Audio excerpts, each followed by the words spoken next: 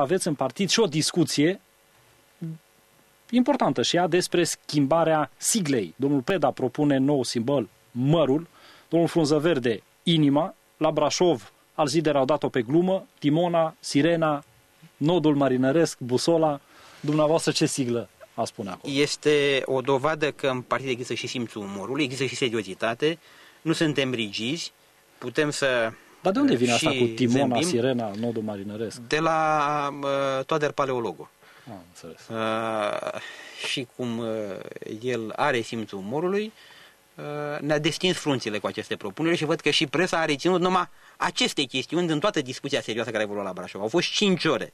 Dacă după 5 ore de dezbateri serioase, cum rare ori am văzut până acum, nu numai în PDL, dar și în PNL în care am fost mulți ani, uh, dacă după 5 ore de discuții serioase reținem numai chestiunea cu Sirena și cu Timon, înseamnă că presa iubește numai asemenea uh, subiecte.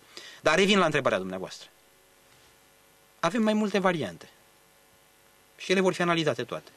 De exemplu, domnul Sorin Frunza Verde, cum a declarat și în presă și cum ați reținut și dumneavoastră, a propus schimbarea denumirii în Partidul Popular și adoptarea simbolului Partidului Popular European, care este inima.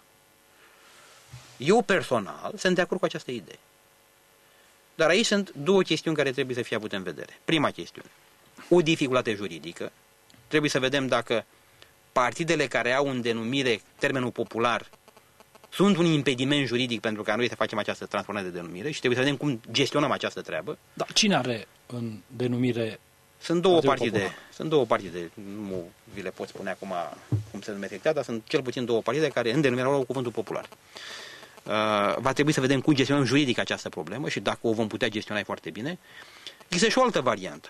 Să păstrăm denumirea actuală și să schimbăm doar sigla. După cum există și varianta să păstrăm tot ce este acum. În ce mă privește, însă vă spun, sunt de acord cu domnul Sorin Frunză Verde și dacă vom reuși uh, să găsim soluția juridică, atunci o voi preda pentru această treabă. Dar nu eu o hotărăsc. Nici domnul Sorin Frunză Verde nu o hotărăște.